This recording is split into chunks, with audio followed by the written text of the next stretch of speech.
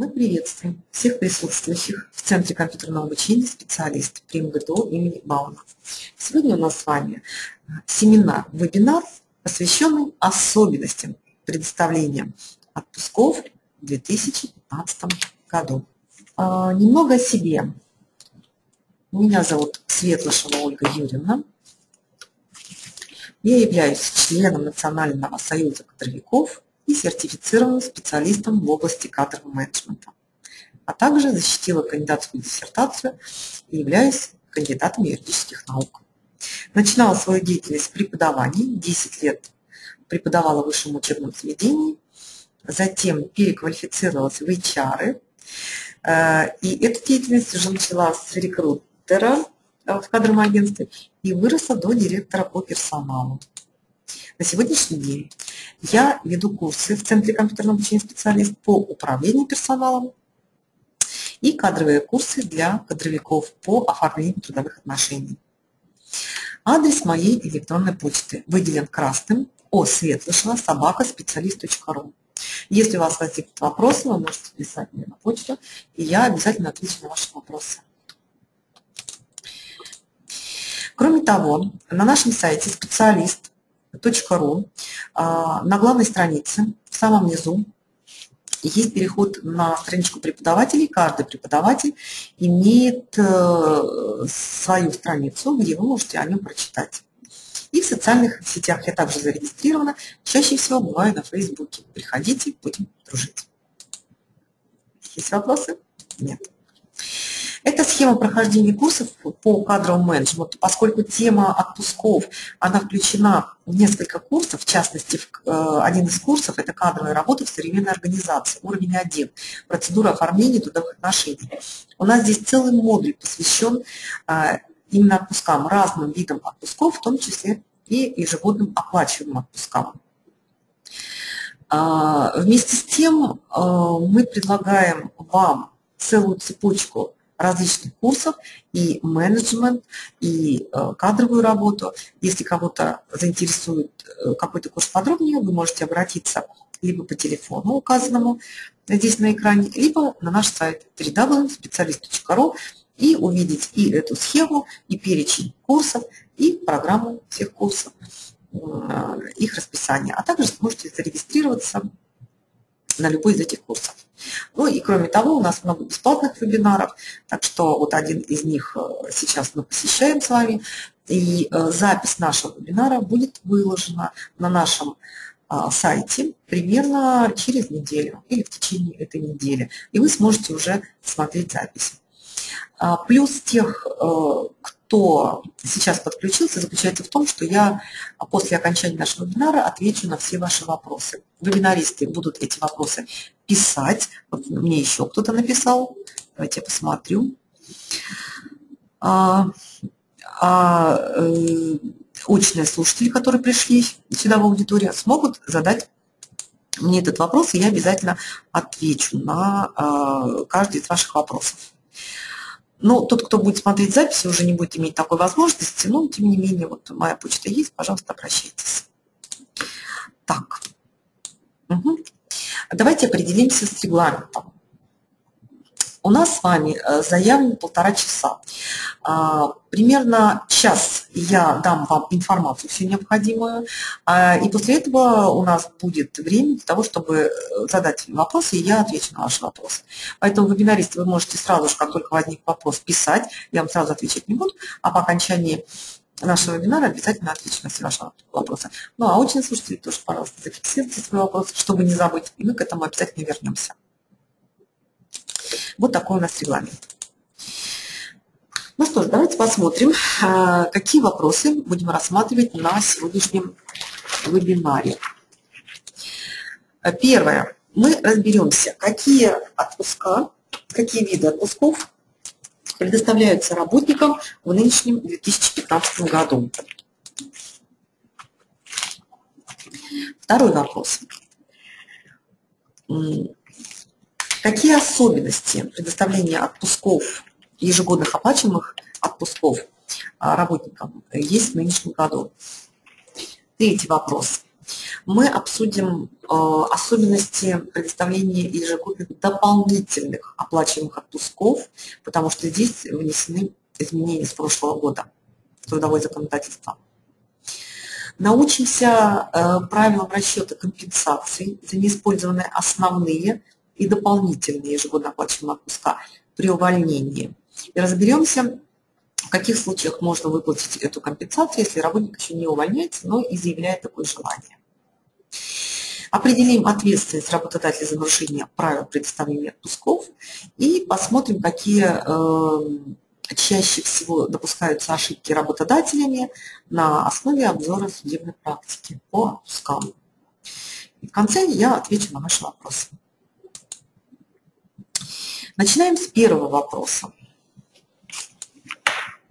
Это виды отпусков, предоставляемых работникам в 2015 году.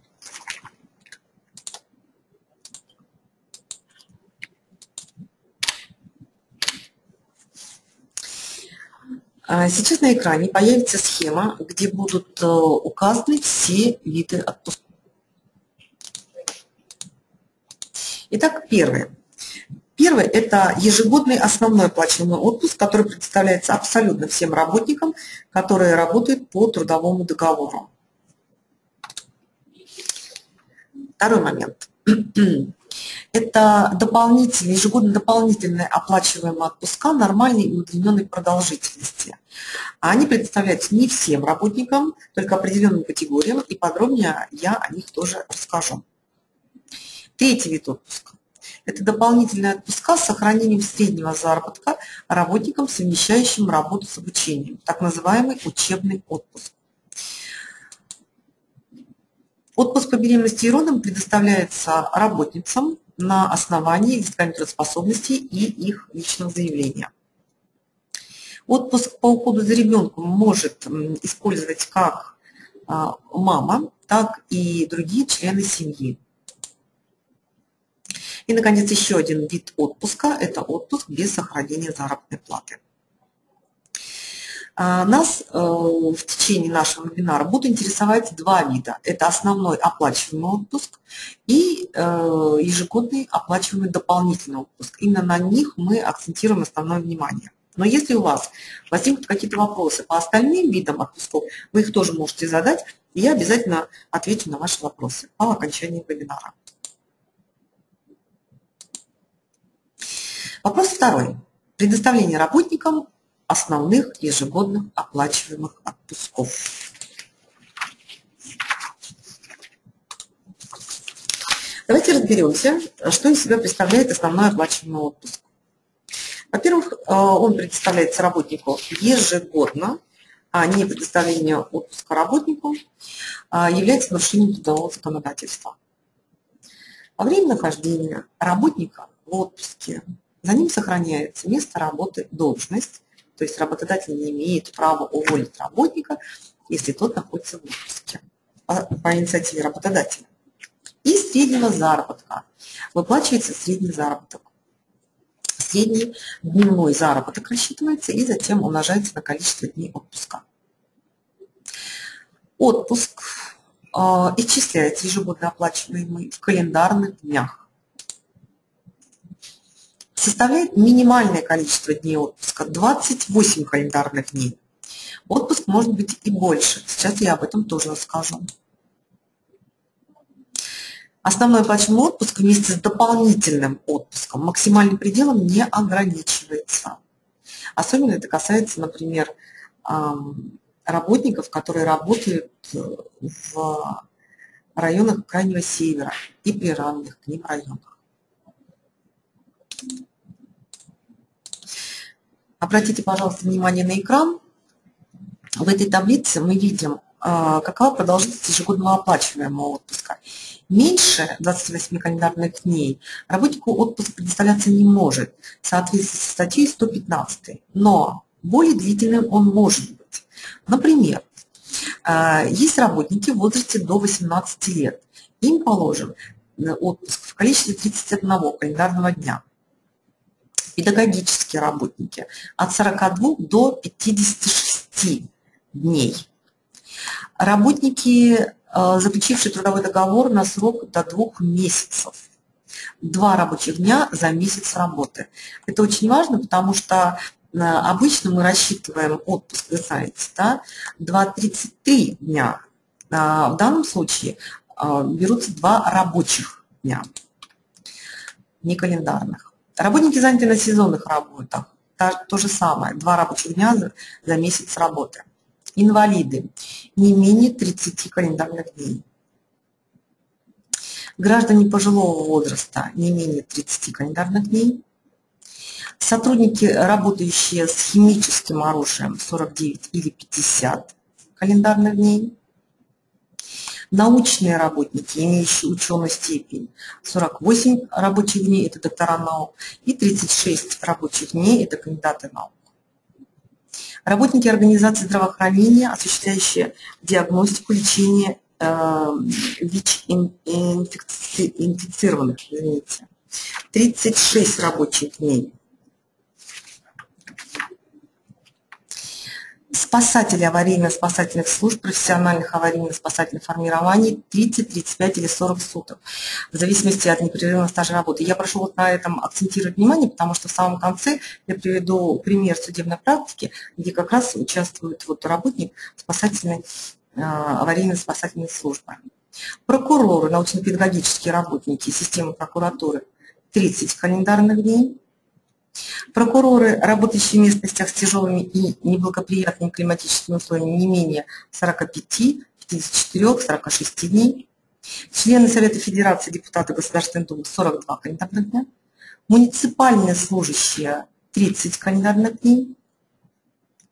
Гражданские служащие 30-35 календарных дней. Сотрудники Следственного комитета России 30 календарных дней Сотрудники Следственного комитета России, проходящие службу в местностях с особыми климатическими условиями до 54 календарных дней. Военнослужащие, э, проходящие военную службу по контракту до 45 суток. Военнослужащие, проходящие военную службу по контракту в районах Крайнего Севера до 60 э, суток, ну, на 15 суток больше. Сотрудники органов внутренних дел 30 календарных дней. Сотрудники органов внутренних дел, проходящие службу крайнего, в районах Крайнего Севера, 45 календарных дней. А, сотрудники таможенного органа до 30 дней и судьи а, до 51 дня, но это в зависимости от того, где они трудятся. Вот такое дополнение.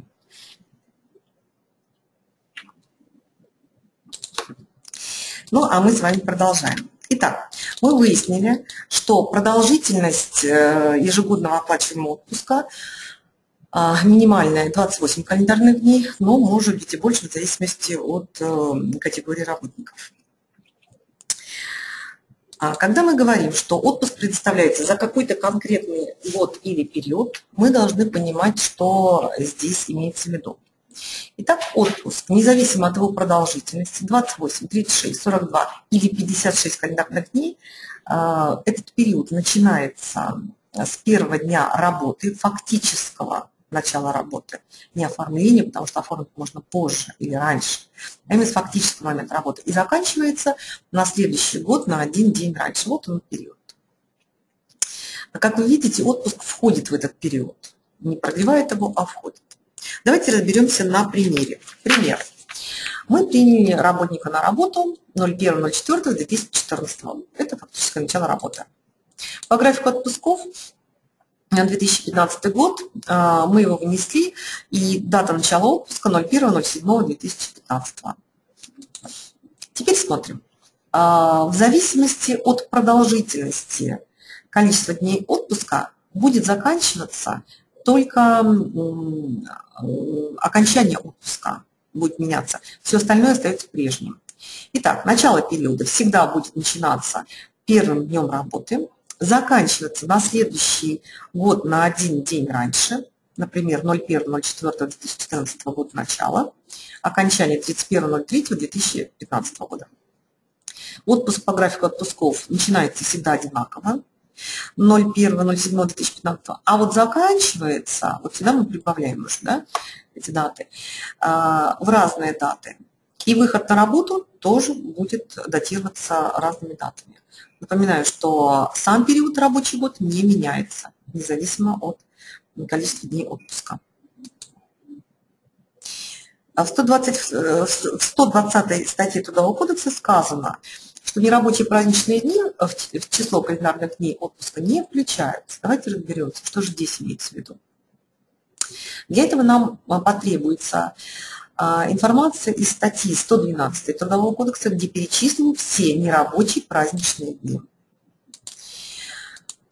Если мы посмотрим, то оказывается нерабочих праздничных дней у нас 14. Да?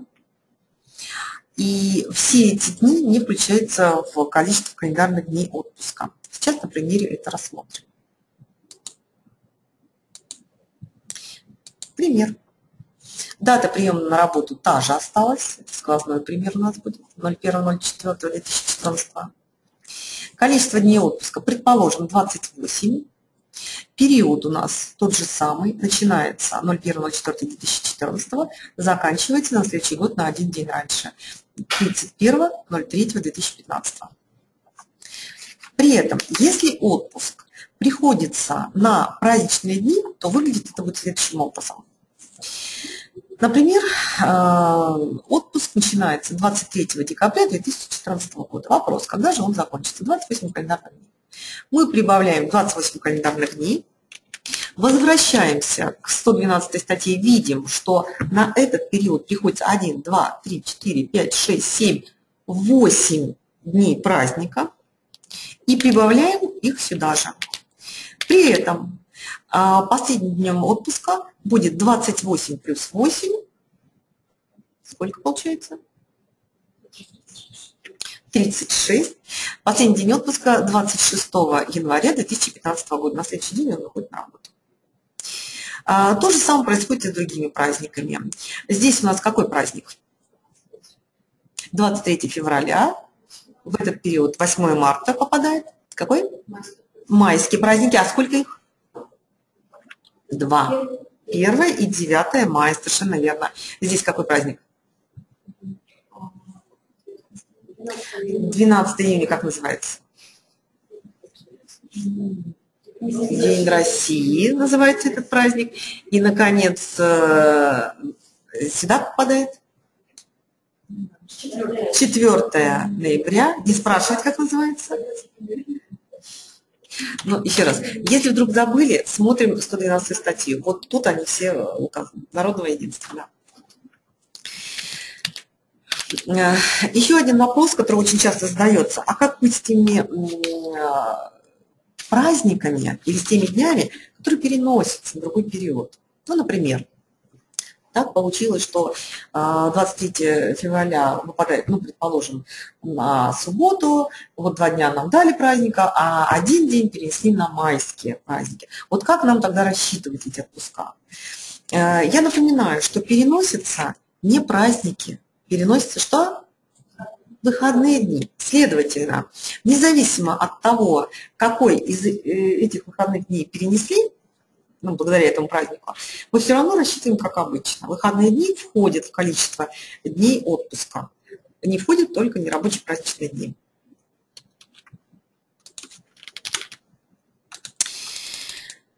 А, красивая картинка. Как вы думаете, чему она посвящена? Да, абсолютно верно, да. Это 125 статья Трудового кодекса. А, мы уже сказали, что отпуск предоставляется, как правило, в количестве 28 календарных дней минимум, да, но он может быть и разделен на части. Самое главное, чтобы было согласие двух сторон, и работника, и работодателя, потому что если хотя бы одна из сторон не согласна, отпуск не может быть разделен. И второе, что одна из частей не менее 14 календарных дней. Это тоже очень важный момент. При этом а, работодатель, конечно, может пойти навстречу работнику, предоставить ему отпуск не менее 14 календарных дней, одну часть, потом еще там по одному дню или по два, или по три. Но это очень невыгодно для работодателя. Почему? Потому что когда работник использует свое право сразу на 28 календарных дней, то в эти календарные дни входит у нас еще и что? Выходные, суббота, воскресенье, если это пятидневная рабочая неделя.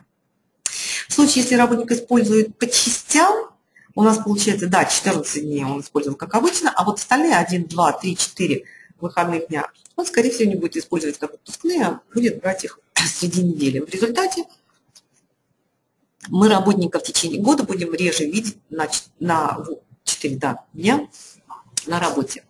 И кроме того, это огромные трудозатраты, потому что на оформление отпуска тратится время, если это один раз мы предоставляем в течение года, это одно время, а если мы 15 раз предоставляем отпуск, это совершенно другое время. Поэтому для работодателя явно это невыгодно. Хотя и не запрещено по закону, пожалуйста, договариваемся и предоставляем. Если работник приходит на работу, за право на использование первого отпуска за первый год возникает по истечении 6 месяцев непрерывной работы. Но по соглашению сторон можно и раньше это сделать. Это 122 статья Трудового кодекса. Повторяю, по соглашению сторон. Но есть категории, которым мы не можем отказать. И в этой же статье э, перечислены данные категории. Если женщина перед отпуском по беременности и родом или непосредственно после него просит предоставить ей отпуск, пишет заявление, работодатель не имеет права отказать, даже если не истекло 6 месяцев ее работы. То же самое касается работников в возрасте до 18 лет, работников, установивших ребенка детей в возрасте до 3 месяцев и других случаях, предусмотренных законодательством. Вот эти другие случаи я тоже хотела бы э, рассмотреть. Давайте я вам чуть позже покажу еще одну таблицу, э, где есть вот эти другие категории. А, возможно, в ваших организациях есть еще лица, работающие по совместительству. Обратите внимание, здесь не разделяется на внешнего и внутреннего совместителя, это не имеет значения, просто совместитель.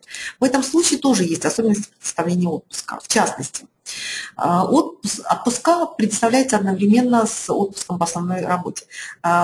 Вы знаете, законодатель написал «предоставляется». Не написано, что он должен быть предоставлен или работодатель обязан предоставить. Вот этого нет. То есть э, предполагается, что в некоторых случаях, э, если работник не попросил, работодатель может ему не предоставлять этот отпуск. А с другой стороны, если совместитель не отработал 6 месяцев на работе по совместительству, а по основному месту работы уже предоставлен отпуск, в данном случае отпуск предоставляем авансом. Риск, да, риск. В случае, если э, работник будет увольняться, мы не сможем удержать с сумму за, за неотработанный отпуск авансом. И в случае, если на основном месте работы ему еще полагается какой-то дополнительный отпуск или э, ежегодно оплачиваемый отпуск э, удлиненный, а при работе по совместительству он такой же, 28 календарных дней, то вот эта часть предоставляется без сохранения заработной платы. Это особенности от э, лиц, работающих по совместительству. Бывают случаи, когда необходимо продлить отпуск или перенести на другой срок, определяемый работодателем, с учетом пожеланий работника. Это 124 статья. Первое – это временная нетрудоспособность работника. Заболел, предоставил документ, написал заявление, прошу продлить или перенести, пожалуйста, переносим. Второе. Исполнение работникам во время ежегодного оплачивания отпуска государственных обязанностей. И вот это очень часто ставит в тупик. Что это за государственные обязанности, когда мы обязаны предоставлять, когда не обязаны. И работникам в других случаях предусмотрено трудовым законодательством. Мне хотелось бы э, показать вам следующий слайд. Да, через один слайд сейчас я покажу, что такое государственные обязанности. А, есть определенные запреты. Нельзя не предоставлять отпуск в течение двух лет подряд, потому что это сказывается на здоровье и жизни людей. Следовательно, работник имеет право отдыха, и он э, будет использовать это право. Работники в возрасте 18 лет и работникам, занятых на работах с вредными или опасными условиями труда. Нужно предоставлять отпуск обязательно. Итак, что же такое государственные и общественные обязанности? А, первое – это государственные обязанности, которые работник выполняет в связи с реализацией избирательного права, избирательные участки и так далее. Второе – это в связи с осуществлением правосудия и участием в деятельности правоохранительных органов. Ну, например, он являлся свидетелем по какому-то делу, его вызывают и так далее. А третье – это в связи с выполнением воинских обязанностей, например, военные сборы или вызов военкомат. А в связи с избранием на выбранной должности в государственные органы и органы местного самоуправления, когда он участвует в избирательном. Э, в связи с избранием в профсоюзные органы и комиссии по трудовым спорам. Вот во всех этих случаях а, мы это называем государственные обязанности, и отпуск мы обязаны либо продлить или по заявлению работника. В каких случаях еще продляется или переносится отпуск?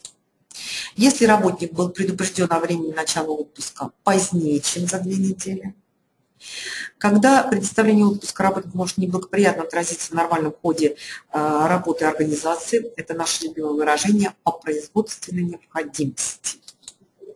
И если работнику своевременно не была произведена оплата э, за время ежегодно оплачиваемого отпуска. За сколько мы должны оплачивать? Не позднее, чем за три дня. Все правильно.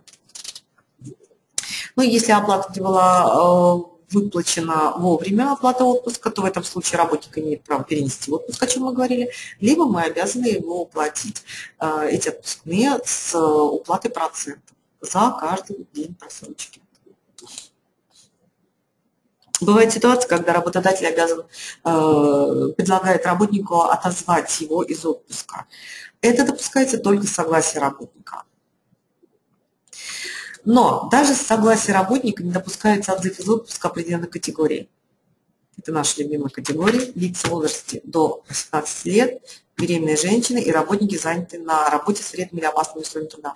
Это понятно, это объяснимо, потому что это связано со здоровьем людей. Итак, мы говорили с вами о том, что отпуск за первый год работы предоставляется по истечении 6, 6 месяцев непрерывной работы у данного работодателя. А как же э, дальше мы э, отпуск предоставляем за второй, последующие годы?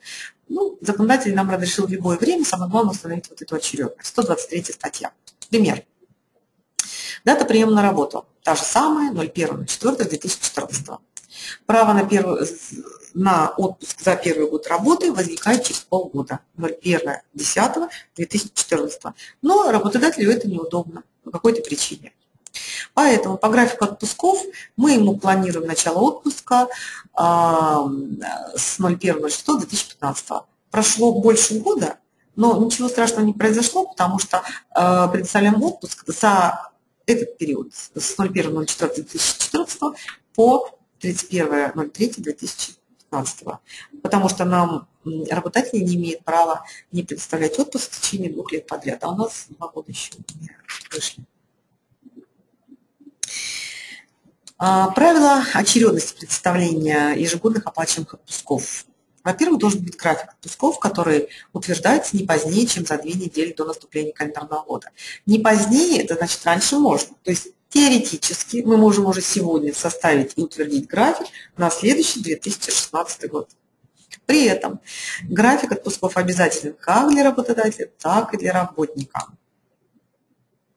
И работник должен быть ознакомлен а, с тем, что он отправляется в отпуск не позднее, чем за две недели от подписи. Роструд э, нам показывает, какие варианты могут быть это могут быть отдельные извещения работникам, но это очень большая работа. Ознакомительные листы, например, график отпусков, ведомости, например, зарплатные, либо заблаговременная подготовка приказа. Но мы помним, тогда не чем за две недели. Вот все эти документы должны быть тогда подготовлены. Ну, что-то другое. Итак, для чего же нужен график отпусков?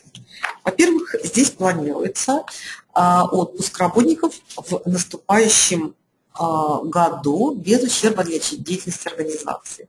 В случае, если организация не может, ну, предположим, школа не может всех учителей отпустить э, весной и осенью, то предлагает им отпуск летом, когда нет учебных занятий. Организация порядка предоставления очередных ежегодных отпусков. Если уходит э, руководитель в отпуск, значит кто-то должен выполнять его функции, ну и какой-то другой работник. Отражение текущей ситуации задолженности по отпускам в рамках календарного года. Мы должны четко понимать, какое количество дней отпуска полагается тому или иному работнику, потому что, с одной стороны, а, чтобы не, нарушить требования трудового законодательства, не предоставлены в течение двух лет подряд. С другой стороны, при увольнении а, выплачивать большую, крупную компенсацию за неиспользованный отпуск невыгодно. Для работодателя лучше предоставить э, и использовать этот отпуск. Пошаговый алгоритм представления ежегодного оплачиваемого отпуска либо это заявление работника, если он не попал в график отпусков или хочет вне графика отпусков пойти в отпуск с резолюцией работодателя, либо мы предупреждаем работника, например, э, уведомлением, извещением, графиком отпусков не позднее, чем за две недели о том, что у него начинается отпуск. Затем издаем приказ о предоставлении отпуска работнику. Есть унифицированная форма приказа, вы можете ее использовать Т6, Т6А, ну, либо свою разработать, если у вас не государственная организация. Выплачиваем отпускные не позднее, чем за три дня до начала отпуска. При этом может заполняться записка расчет, также имеющая унифицированную форму Т-60. Вносим эту информацию в личную карточку Т2. Я хочу э, уточнить, что, как правило, информация вносится уже постфактум, когда работник выходит из отпуска, чтобы у нас, если какие-то изменения произойдут, потом вносить изменения. А, вносим информацию в таблицу рабочего времени и э, график отпусков. Вот э, такой порядок представления ежегодного оплачиваемого отпуска работнику.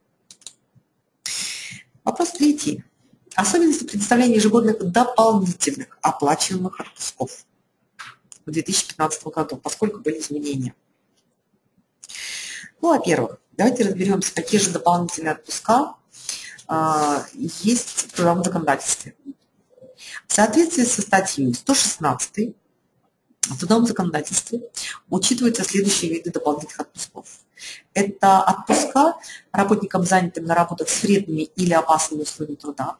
И тут мы с вами вспоминаем о том, что э, с прошлого года введено такое понятие, как специальная оценка по условиям труда. Для того, чтобы понять, что работник работает а, с вредными или опасными условиями труда, нам нужно оценить это рабочее место. Раньше это была аттестация рабочих мест, теперь специальная оценка по условиям труда. Второе – это работникам, имеющим особый характер работы. Сейчас тоже поясню, что здесь имеется в виду. Работникам с ненормированным рабочим днем, если это зафиксировано в трудовом а, договоре и в локальных нормативных актах. Работникам, работающим а, в районах Крайнего Севера и приравненных к ним местностях, ну и в других случаях, предусмотренных трудовым законодательством. Что же это за другие случаи? Обратите внимание на экран. Это вот таблица других случаев, предусмотренных а, представления ежегодных дополнительных оплачиваемых отпусков. Здесь достаточно много категорий, я только некоторые из них обозначу. Например, работники с вредными или опасными условиями труда, не нанесены Э, календарных дней. Работники, имеющие особый характер работы. Работники с ненормированным рабочим днем. Работники, работающие в районах Крайний Север и приравненных к ним районах. И так далее. Спасатели, опять же, да, и так далее. Вот тут целый перечень со ссылкой на э, трудовое законодательство, на трудовой кодекс Российской Федерации и на федеральные законы. Извините.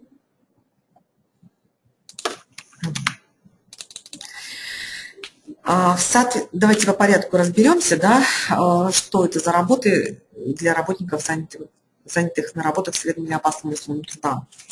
Статья 117. Обратите внимание, в статью 117 э, были внесены изменения в 2013 году, 28 декабря 2013 года, а, федеральным законом 421, э, который вводит также и понятие специальной оценки по условиям труда. Что у нас изменилось? Ежегодно дополнительный оплачиваемый отпуск предоставляется работникам, условия труда на рабочих местах которых по результатам специальной оценки условий труда отнесены к вредным условиям труда второй, третьей или четвертой степени, либо опасным условиям труда. Это добавлено. Минимальная продолжительность ежегодного дополнительного оплачиваемого отпуска а, составляет 7 календарных дней. И еще на основании а, отраслевого или межотраслевого соглашения и коллективных договоров, а также письменного согласия работника обязательно оформленного путем заключения отдельного соглашения по трудовому договору, часть ежегодного дополнительного оплачиваемого отпуска, который превышает минимальную продолжительность, минимальная это 7 календарных дней да, данного отпуска, установленную частью второй настоящей статьи, может быть заменена отдельно устанавливаемой э, денежной компенсацией в порядке и размерах, на условиях которой установлены отраслевыми, межотраслевыми соглашениями и коллективными договорами. О чем идет речь? Если работнику положено, предположим, 10 календарных дней, то по его согласию и на основании отраслевого соглашения или коллективного договора, по его заявлению, может быть предоставлено вот эти три дня э, денежной компенсации. Но 7 дней он должен использовать как отпуск. А, Причем стаж работы, дающий право на ежегодные дополнительные отпуска с вредными или опасными условиями включается только фактически отработанное в этих условиях время. Ну, предположим, работник в течение года работ, а, один раз переводился, причем полгода он работал э, в обычных условиях, в оптимальных условиях или в допустимых, а еще полгода он работал с вредными и опасными условиями труда. Значит, мы пропорционально рассчитываем. У нас получается, если за год 7 дней, то делим на 2, 3,5 метра. При этом учитываются только те дни, когда работник фактически трудился в этих условиях не менее половины рабочего дня. Тоже интересная ситуация, да? Тоже нужно э, учитывать. Это инструкция, которая не отменена. Инструкция 1975 года. А, в соответствии со статьей 118 ты ежегодный дополнительный оплачиваемый отпуск за особый характер работы. А, тоже очень часто возникает вопрос, вот что же за особые условия работы, а, при которых можно предоставить этот отпуск. Это врачи общей практики, ссылка на документ,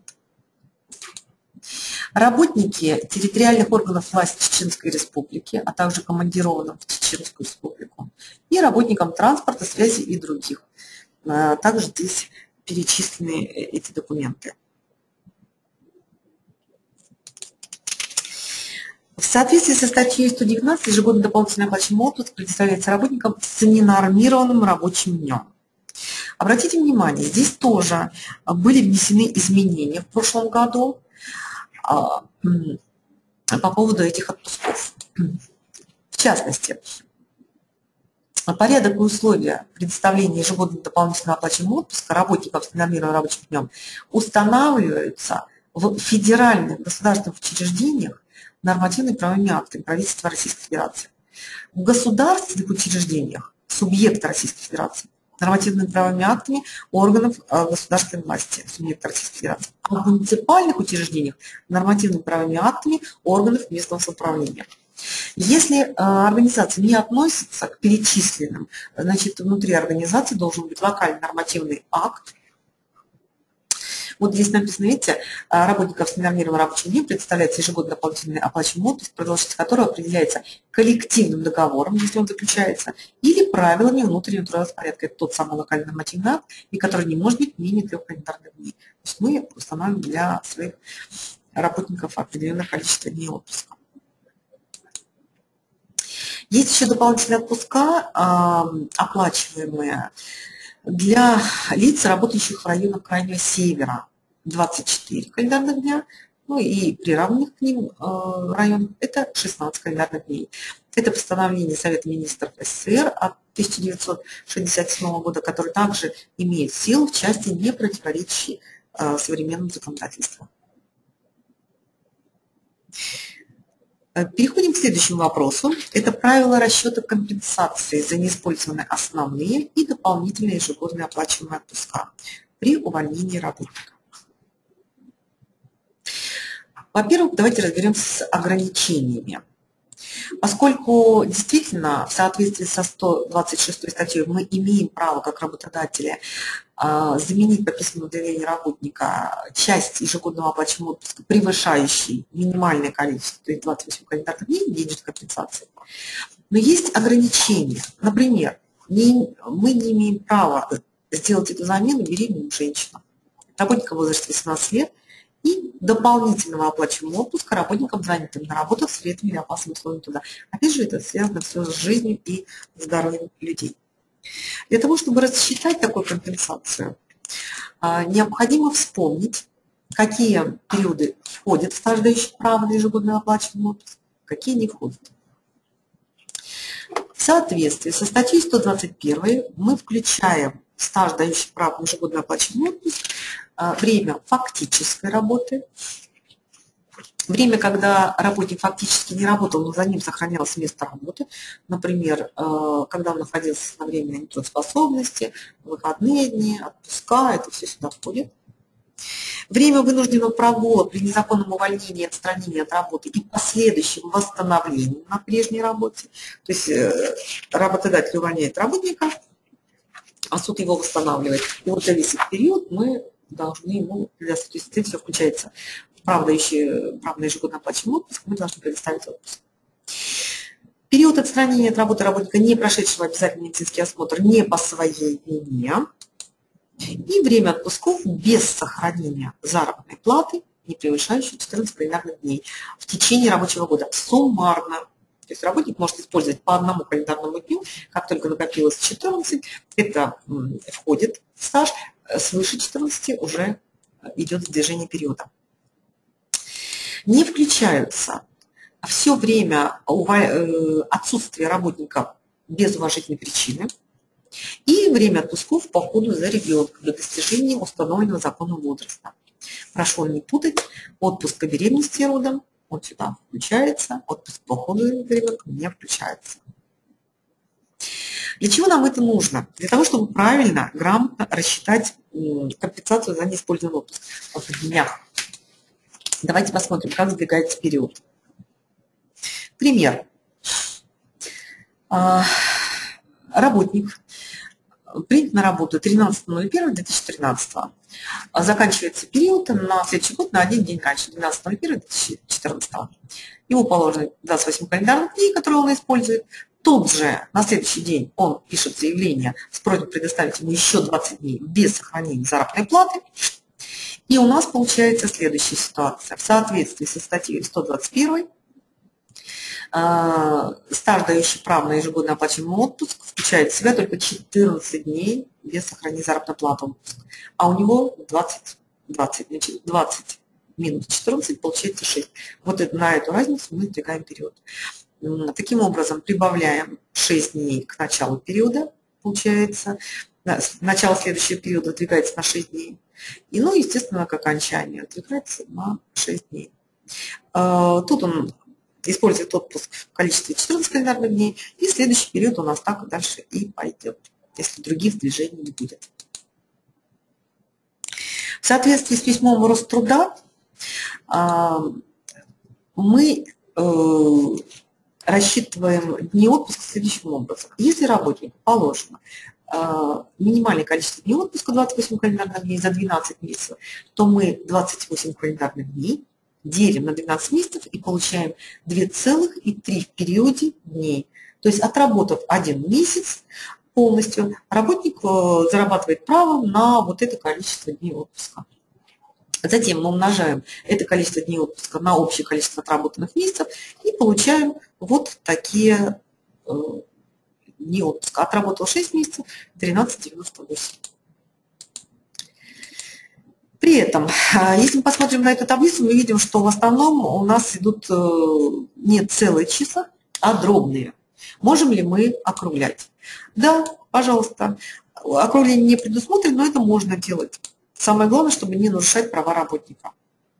Пример в письме Минздрав развития, когда э, по правилам арифметики мы должны были округлить 12,4 э, до 20, Э, вернее, 20,4 до 20, а мы округлили в большую сторону для того, чтобы не ограничивать права работника.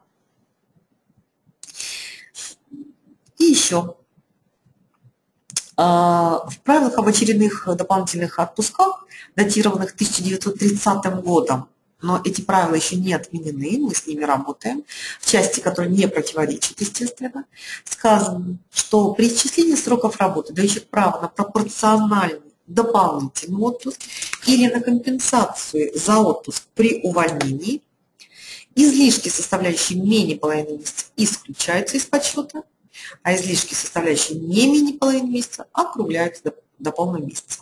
То есть, если мы рассчитали, у нас получилось, что работник отработал 2 года, 3 а, месяца и 10 дней, то вот эти 10 дней мы убираем из подсчета, потому что они составляют менее половины месяца.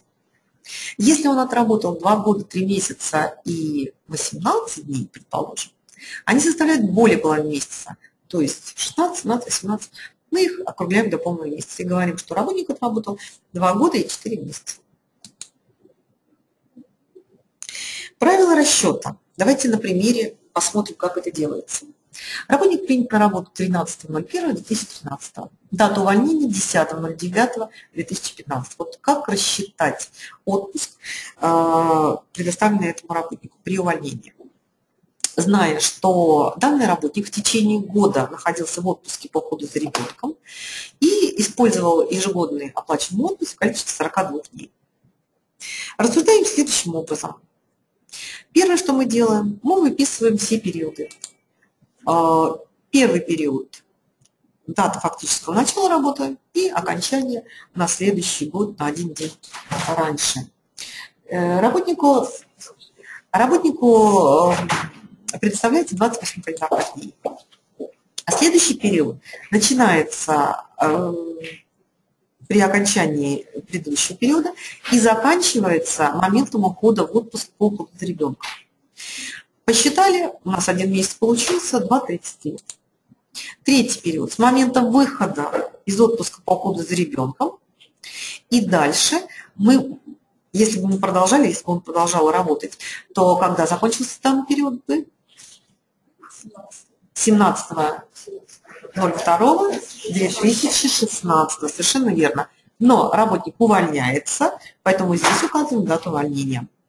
И считаем количество месяцев, умножаем на 2,33, получается вот такая сумма.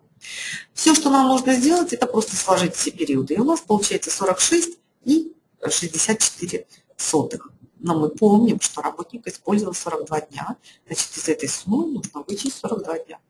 И получается 4,64 календарных дней – это дни, подлежащие компенсации. А можно вторым способом рассчитать, та же самая ситуация абсолютно, но рассуждаем немного по-другому. Мы сначала переписываем все периоды, как будто работник, вот, э, у него не было этих отклонений. Затем складываем и вычитаем вот эти отклонения. Вот они, 28 дней, потому что э, он находился в отпуске по уходу за ребенком один год, а за один год э, право на 28 календарных дней. И затем также вычитаем использованное количество дней отпуска. А, та же, тот же самый результат 4,64. Оба варианта допустимы. Как оплачивается отпуск? Ну, во-первых, мы помним, что он оплачивается не позднее, чем за три дня до начала.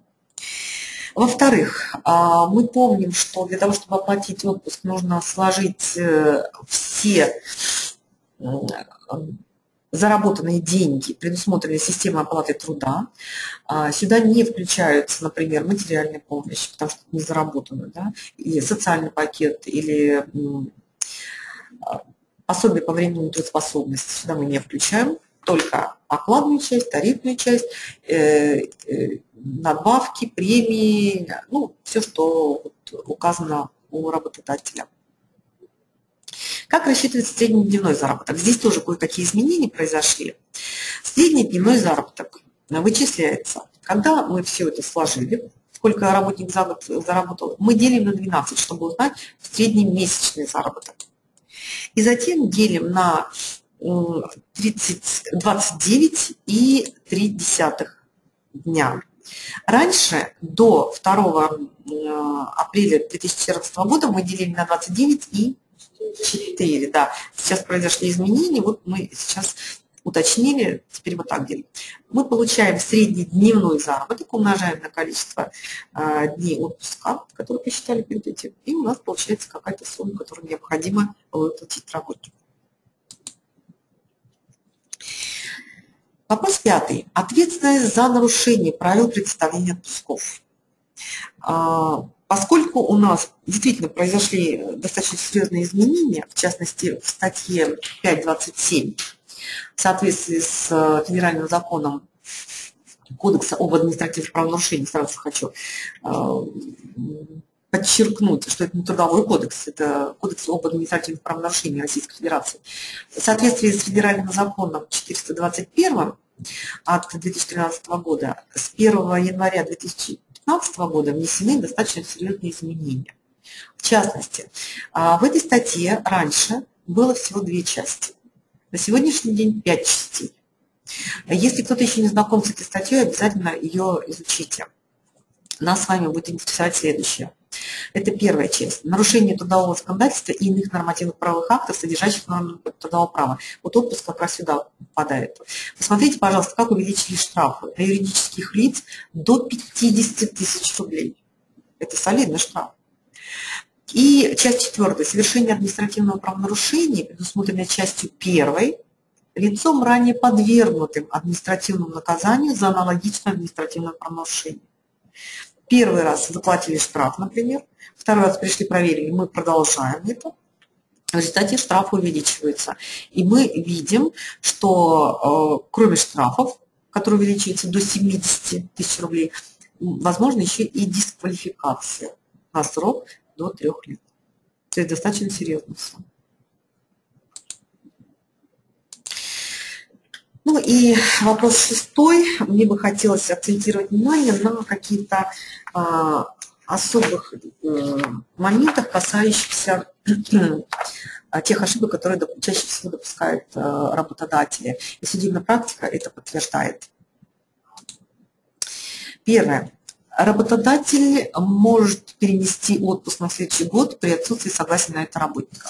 Это считается нарушением трудового законодательства. И э, в частности, э, Хочу привести вот этот пример, он такой достаточно показательный, он не совсем в пользу работника, скорее в пользу работодателя, но э, тем не менее. Ситуация была следующая. Поскольку длительное время работнику не предоставлялся отпуск, ежегодно оплачиваемый отпуск, то он уже первый год отработал и ушел самостоятельно в отпуск. Работодатель э, решил, что это прогул. Но работник подал в суд, и суд посчитал, что отсутствие работника в связи с такими обстоятельствами, да, является прогулом, но оснований для увольнения при этом не создает. То есть уволить работника нельзя при этом, а, поскольку работодатель создал такие условия, когда работник не мог в другое время использовать право отпуска. Вот еще один самовольный уход работника в отпуск. Еще одно определение, на этот раз Нижегородского областного суда. А в компании нет э, графика отпусков, не утвержден график отпусков. В результате, когда суд стал рассматривать э, дело о том, что работник самовольно ушел в отпуск, он обратил внимание на следующее, что а, работник не представил доказательств, подтверждающих, что отсутствие на работе было согласовано с работодателем, а именно обращение к работодателю с заявлением о представлении ежегодного оплачиваемого отпуска.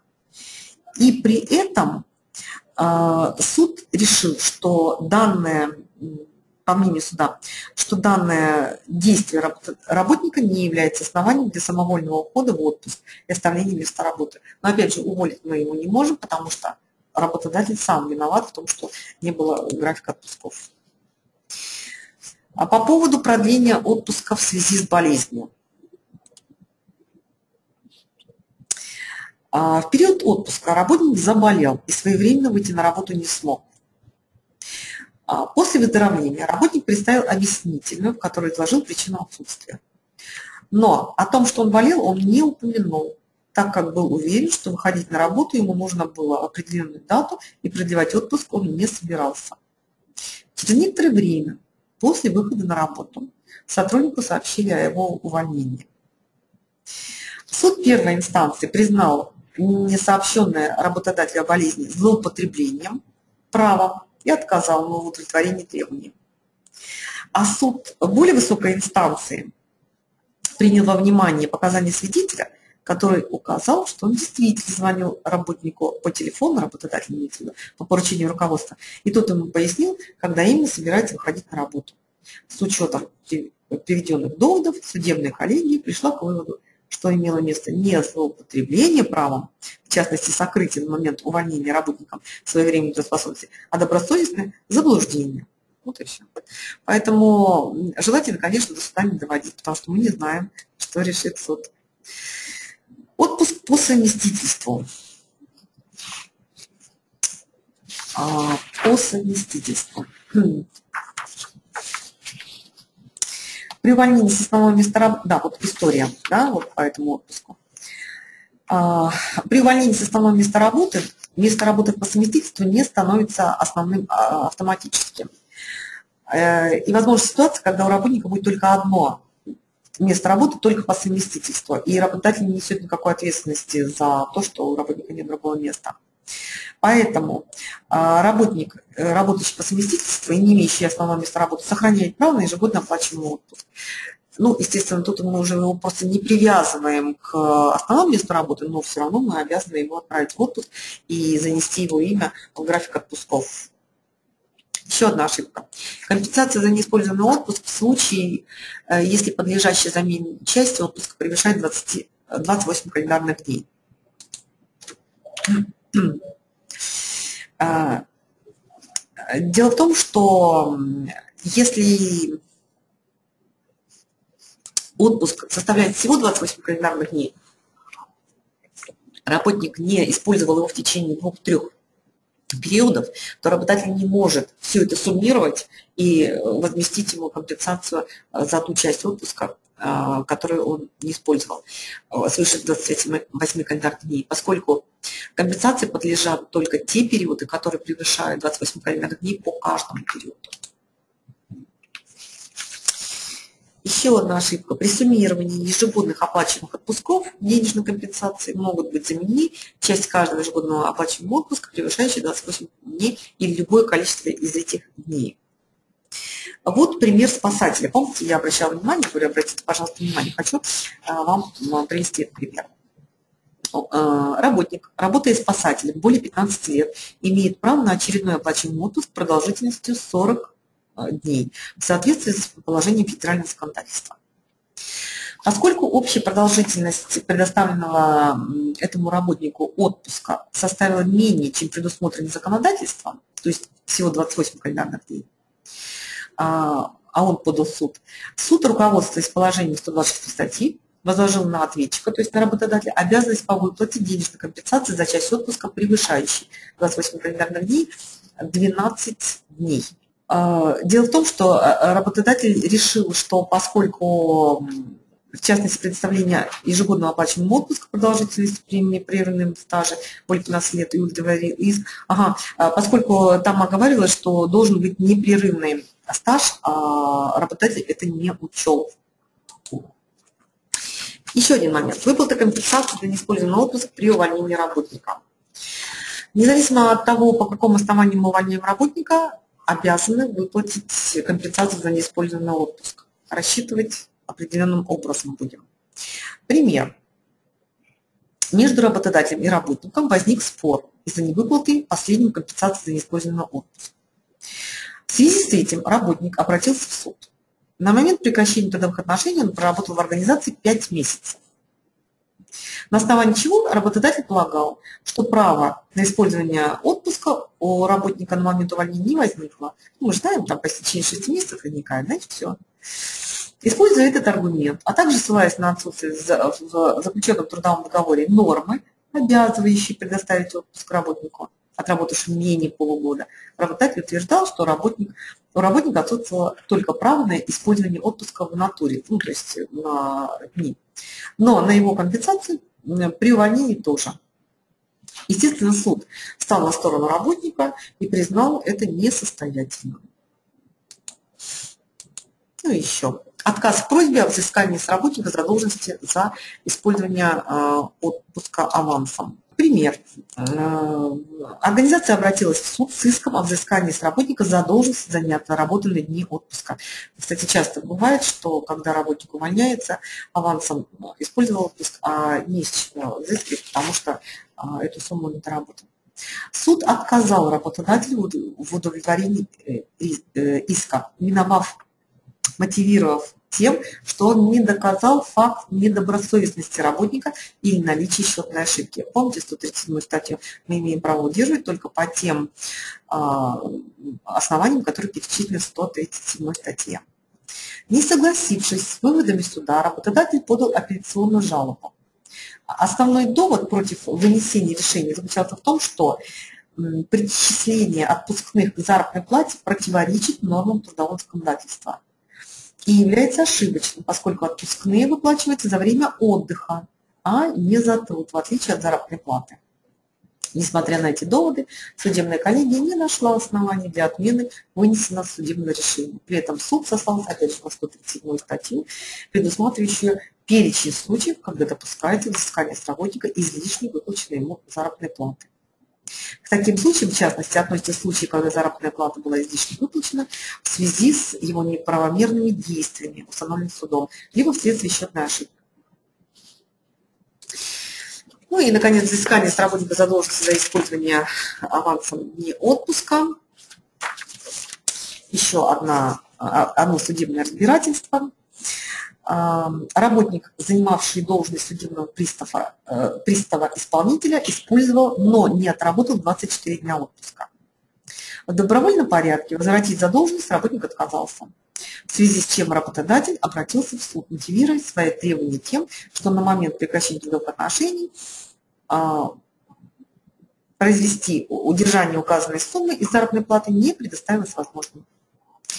А, судом первой инстанции ему отказали, судебная коллегия указала, а, что это уже когда он подал э, в суд более высокой инстанции, что право работодателя на возврат денежных средств за неотработанное работником дни отпуска не может быть поставлено в зависимости от наличия либо отсутствия у данного работника на момент увольнения начислений, но не выплаты заработной платы, из которой может быть произведено удержание.